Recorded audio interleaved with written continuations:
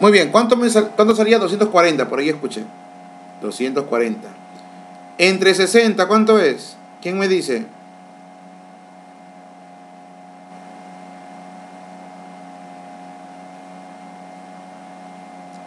Gracias. 4. 4. Digo, entonces, X es igual a cuánto? A 4. O sea, ¿en cuánto tiempo llegará? En 4 horas. Y se acabó tu problema, ¿no? Tu problema de MRU. ¿Te diste cuenta? Así de sencillo es. Pero no, no piensen que todos los ejercicios, no piensen que todos los ejercicios van a ser así. Digan, ah, ya, todos son. No. Hay algunos que son un poco más especiales, pero igual, lo importante es saber eso. Yo les digo, para el MRU tienes que saber solamente cómo funciona la velocidad, distancia y tiempo. Si sabes eso, se acabó. Te pueden poner casos y casos, ya, pero solamente es cuestión de que lo plantees. ¿Qué es la, la UNE? Es Universidad Nacional de Educación, más conocida como la Cantuta, ¿no? Esa es una pregunta de la, de la Cantuta, la 1. La 2 dice, el niño Kevin y su profesor separados por, un, por la distancia X van al encuentro corriendo en línea recta y en sentido contrario con velocidades, bueno, claro, y con velocidades de v y 3v respectivamente. En el instante en que ambos se encuentran, la distancia recorrida por Kevin es de... Ujú. Muy bien, o sea que tiene que hacer, expresarlo eso en letras. Muy bien. Para eso, a ver, ustedes que dominan física, porque si bien yo hice las notas que son muy buenas. ¿Cuánto es el tiempo de encuentro? ¿Quién me dice?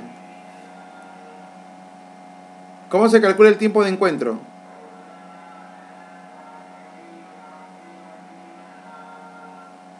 Me supongo que me lo van a decir rapidito, ¿no? ¿Cuánto es el ¿Cómo se calcula el tiempo de encuentro? Distancia sobre velocidad 1 más velocidad 2. Exacto, muy bien, muy bien. Claro, ya ves, yo sabía que me lo iban a decir rapidito. Distancia sobre velocidad 1 más velocidad 2.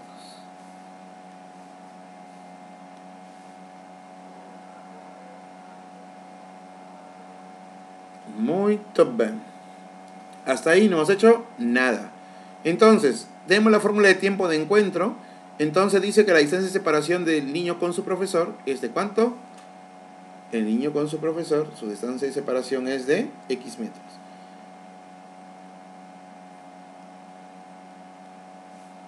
Muy bien, vamos a ponerle acá. Tararán.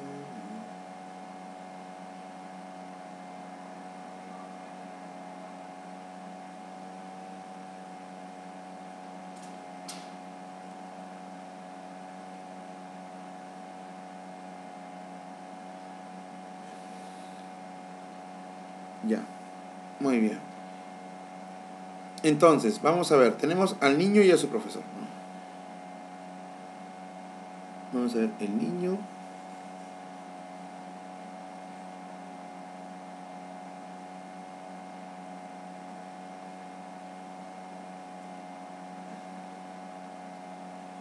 El niño, acá está.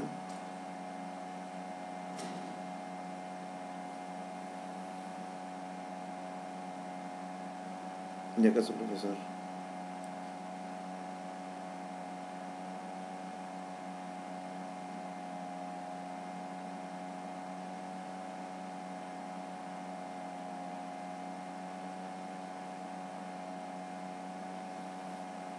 El teacher, el profesor.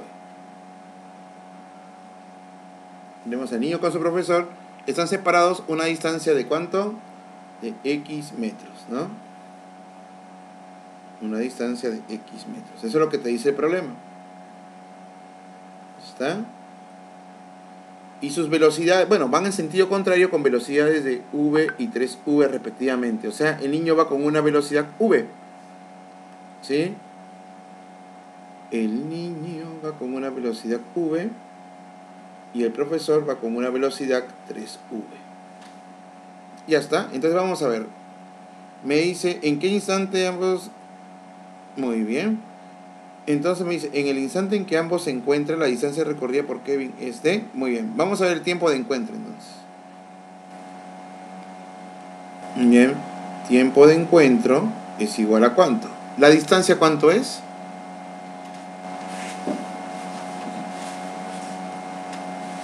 ¿La distancia cuánto es? La distancia de separación es x. Vamos a escribir eso. x dividido entre la suma de las velocidades. O sea, v más 3v. Entonces, claramente el tiempo de encuentro es igual a cuánto? A x sobre v más 3v, ¿cuánto es?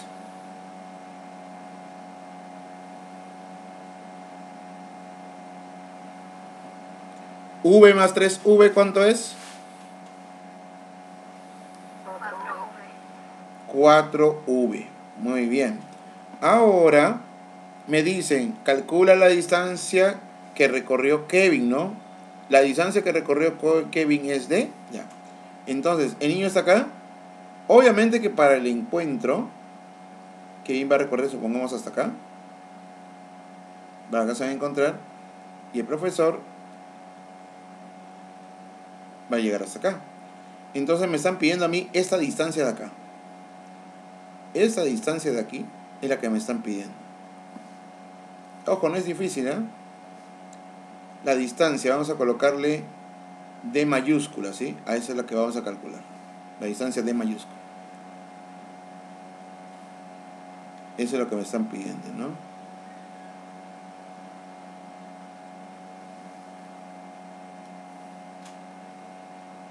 De mayúscula. Entonces, ¿qué hacemos? Bueno, nada más. Tenemos que ver cuál de esas fórmulas usar. A ver, para eso necesito velocidad, ya la tengo. Me están, bueno, me piden la distancia. Vamos a ver los datos. ¿ah? La distancia, no la sé. La velocidad del niño, la conozco que es v, ¿no?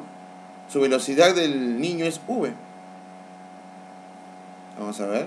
Porque me está diciendo cuánto recorre Kevin, ¿no? La velocidad de Kevin, que es el niño, ¿cuánto es? V. ¿Qué más tenemos como dato? El tiempo. El tiempo es el tiempo de encuentro. ¿Cuánto es el tiempo de encuentro que hemos calculado? El tiempo de encuentro es x sobre 4v. Miren lo que estamos haciendo, si ustedes se dan cuenta. Primero hemos calculado el tiempo de encuentro y el tiempo de encuentro me salió x sobre 4v. Ahora, por, como me están pidiendo a mí la distancia que va a recorrer el niño Kevin, ¿no? El niño Kevin, entonces, la distancia no la sé. Le coloco interrogación. La velocidad del niño Kevin es v. Por date problema, acá está, de rojito. El tiempo de encuentro lo hemos calculado, es x sobre 4v. Listo. Entonces, ¿qué fórmula usamos? Una de esas tres. Como me están pidiendo distancia, calculo el famoso, te digo, vete, ¿no? Distancia es igual a velocidad por tiempo. Distancia es igual a velocidad por tiempo. Listo. Distancia de mayúscula, que es lo que voy a calcular. La velocidad del niño Kevin, v. El tiempo de encuentro, x sobre 4v. Entonces, v con 4v, que, bueno, v con v, ¿qué se hace? Se elimina. ¿Cuál es la distancia del niño Kevin que ha recorrido? ¿Cuánto es la distancia que recorrió el niño Kevin? x sobre 4. Y esa sería la respuesta a mi ejercicio, ¿sí?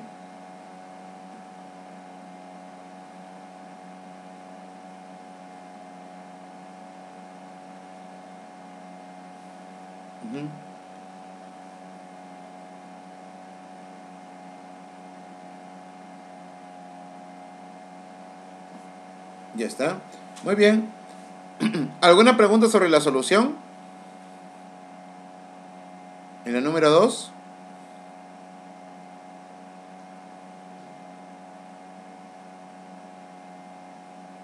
¿Alguna pregunta?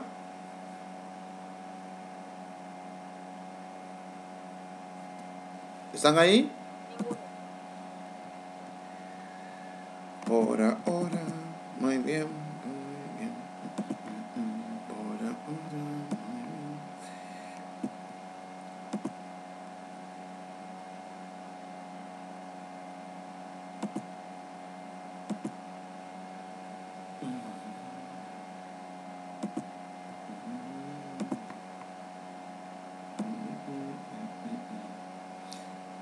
Bueno, la, pregunta de la de la cantuta no es difícil, como se dieron cuenta ustedes. No es difícil.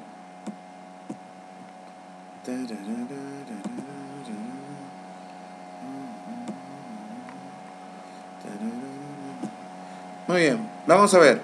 Me dice, un tren tarda 5 segundos para pasar por delante de un viajero y 30 segundos para pasar por delante de una estación de 600 metros de longitud. Bueno, 600 metros, ¿no?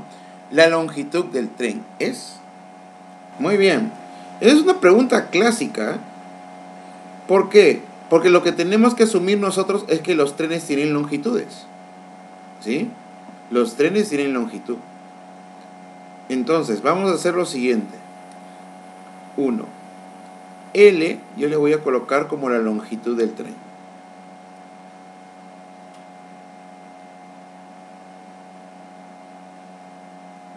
Ya está. Muy bien. Entonces, vamos al primer caso. Me dan dos casos. ¿Sí? Me dan dos casos. Y en los dos casos tenemos que analizar. A ver, en el primer caso me dice que el tren va a pasar por delante de un pasajero. No lo va a matar, ojo, sino va a pasar por delante, nada más. ¿No? Entonces, imaginemos que el pasajero está por acá. Vamos a dibujarlo. Imaginemos que el pasajero está por acá.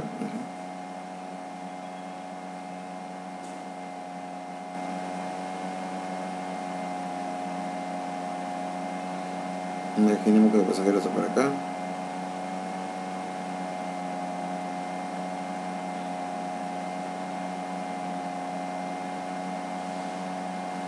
¿Sí? Ya. Y el otro, bueno, ¿qué va a pasar con el tren? El tren dice que va a demorar en pasar, ¿cuánto? Tres segundos. ¿No? Imaginemos que el tren está por aquí.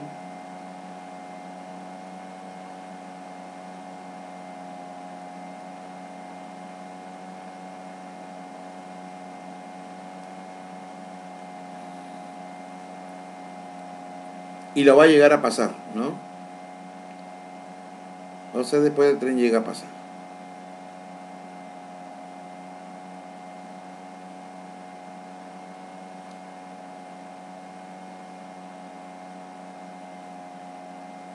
Imaginemos.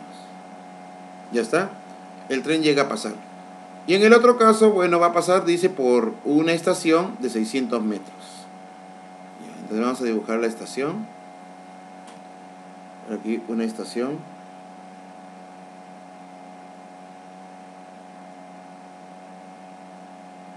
Ya está. Y el tren dice que va a demorar en pasar todo eso, ¿no? O sea, el tren está por aquí, igual.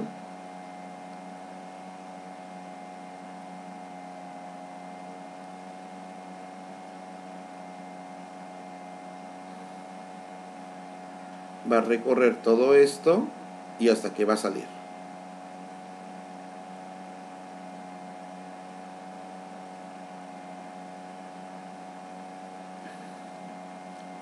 Muy bien, acá es el tren.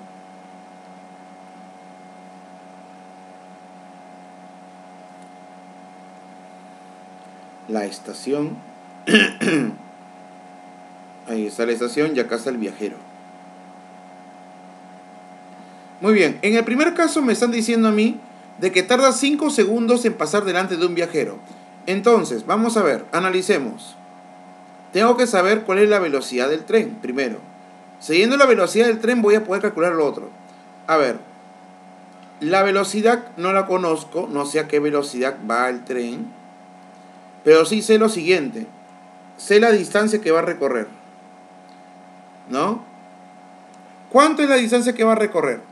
A ver, si un tren pasa por delante de una persona, la distancia que recorre sería su propia longitud.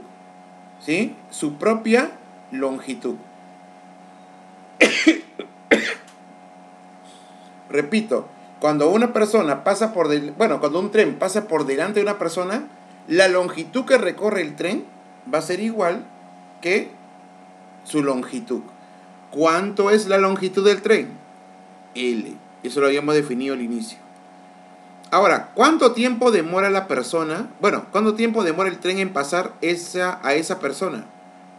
¿Cuánto tiempo tarda? ¿Quién me dice?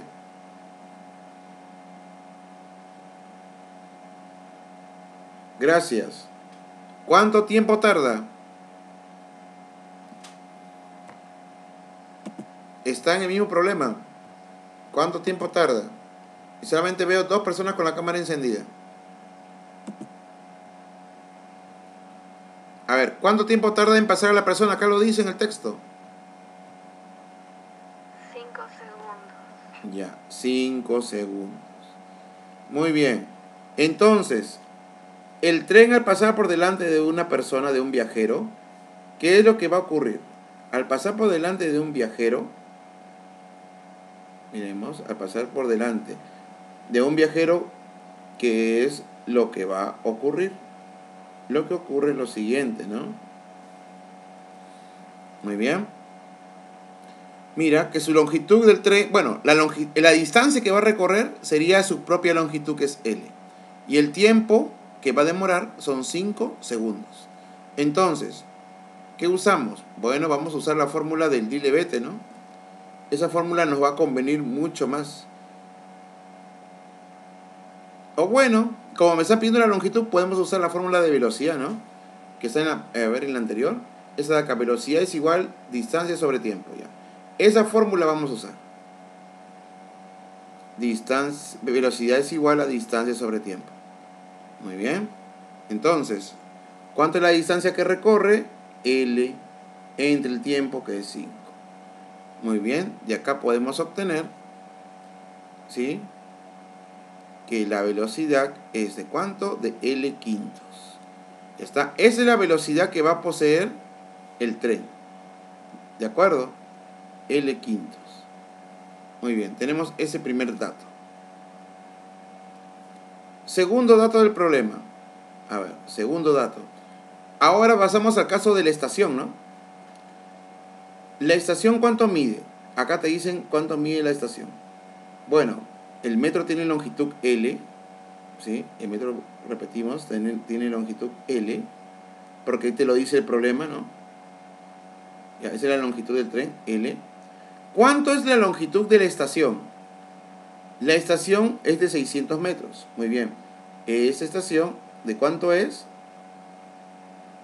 De 600 metros. Muy bien. La velocidad, ¿cuánto es? Le hemos calculado. Ojo, la velocidad del tren no cambia. La velocidad del tren es constante. Lo que va a cambiar es el caso nada más. En ese primer caso pasa por delante de un viajero y en el segundo caso pasa por delante de una estación la velocidad sigue siendo la misma. La velocidad es cuánto? L quintos, porque es la misma. Luego, la distancia, ¿cuánto es la distancia? Es L, ¿no? La distancia del tren es L. Pero el tren, observen, quiero que observen ustedes esta parte de acá. El tren cuando va a pasar por la estación, ¿qué va a recorrer? ¿Cuánto va a recorrer? Va a recorrer, mira, los 600 metros de la estación más su longitud. Mira, los 600 metros de la estación más su longitud. Mira, desde acá, 600 más su longitud. ¿Sí? 600 más su longitud. Entonces, la distancia que va a recorrer el tren, en este caso va a ser cuánto? 600 más su longitud. Mira, 600 más su longitud. Muy bien. ¿Cuánto tiempo demora en hacer todo eso según el problema? A ver, ¿quién me dice? Ahí está en la traza. Muy bien, por ahí escuché 30 segundos. Muy bien. Ya está. Entonces, usamos la fórmula de velocidad es igual a distancia sobre tiempo. Muy bien, vamos a ver lo que tenemos.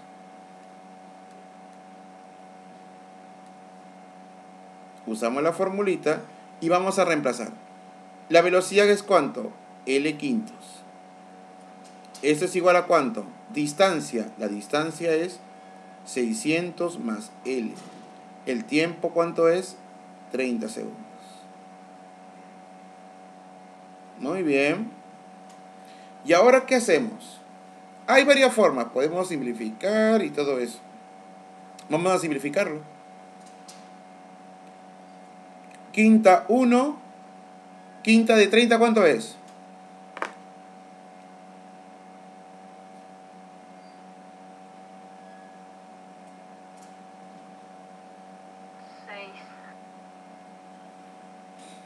Quinta de 36. Muy bien. Ahora, ¿qué hacemos? Producto cruzado y el problema va a salir de inmediato. Pues hacemos nuestro producto cruzado y ¿qué obtenemos? 6 por L es igual a cuánto? 1 por 600 más L, pongo 600 más L. Luego, 6L, el L que está sumando pasa a restar, me da 600. ¿Cuánto sale la resta? ¿Quién me dice? 6L menos L, ¿cuánto es? 5L y este es igual a 600. El 5 pasa a dividir. ¿Cuánto me daría la división? ¿Quién me dice? 600 entre 5. ¿Quién me dice?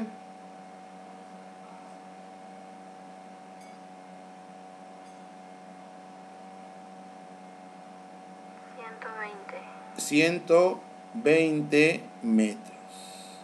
¿Ya está? Y se acabó. Muy bien, esa sería la respuesta a nuestro ejercicio. Muy bien. Si hay alguna pregunta, me lo dicen después de receso. Vamos a tener nuestro receso de, 15 minutos a partir de ahora. ¿Sí? Volvemos con la segunda parte.